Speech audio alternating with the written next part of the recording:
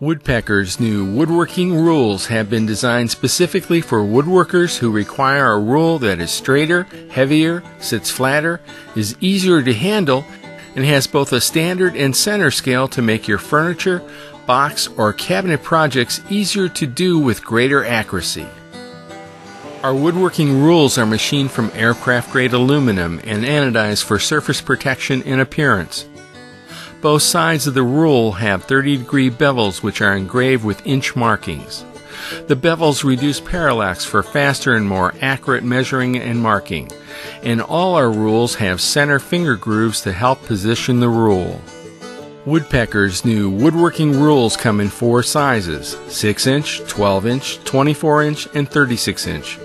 They're great for drawing perfectly straight pencil lines or scoring veneer, and with the center scale, you can quickly lay out from the center of the rule. And with our 0 to 24 inch or 0 to 36 inch rulers, you can measure on both sides of the board from the same starting point without having to turn the rule. All our woodworking rules can be used with Woodpecker's RS2 rule stop and most with our new hook stop.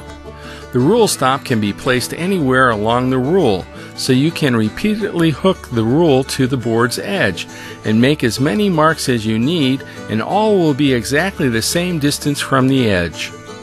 Except for our 6 inch woodworking rule, all our other rulers have two threaded holes on each end. They mate perfectly with the hook stop to ensure an exact 90 degree reference to the edge of your board, allowing for quick, accurate measuring and marking of your woodworking projects.